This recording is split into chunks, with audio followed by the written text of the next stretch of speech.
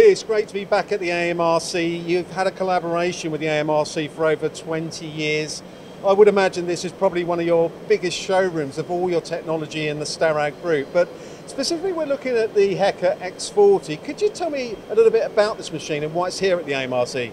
Well, it's here at the AMRC, Mark, because it's, it's in the UK so that UK companies can come and use it to develop better processes for, for their own production. And um, it's a small, compact machine, lightweight and very heavy duty work as well. It comes in, in various different configurations.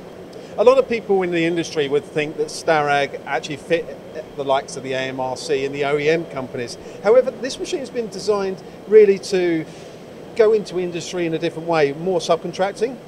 Well, one of the messages that AMRC wants to get across is that this type of machine is there for the subcontractors, so they want engagement with subcontractors so that they can take existing products and make them far more competitively, profitably by using a machine like this. Uh, and when you look at the configuration of the machine, you, are saying about the uh, two turrets uh, uh, you know, holding the table. What, what, benefit does that actually give a customer? Well, well this, this machine is, is a tw twin pallet machine, horizontal spindle, but the um, the fourth and fifth axis are on a trunnion system where the, the table is balanced and, and clamped equally at both sides of the trunnion. It's not just held one side or with a, a drive system one side and, and, and a centre the other.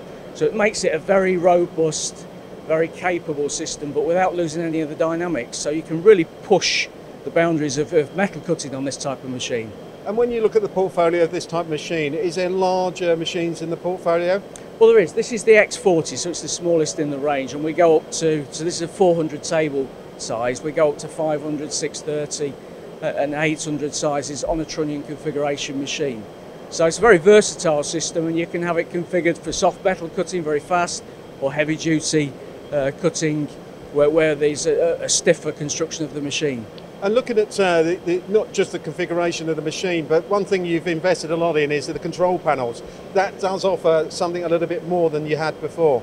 Well, it does. We, we, we, we operate on this particular machine, the Siemens 840D control, but we've put our own HMI on the front. So it's a big screen, flat screen. Everybody loves it. It's like using a huge iPad or tablet, and there's a lot more usability from the, from the front end of the machine as well. And if you was to sum up this um, machine to the likes of uh, subcontractors but general engineering companies, what would be the USP to this machine? Well, I would say the table group itself and, and the rigidity of the machine, but of, course it's the speed as well. It's a very fast, accurate five-axis machining centre.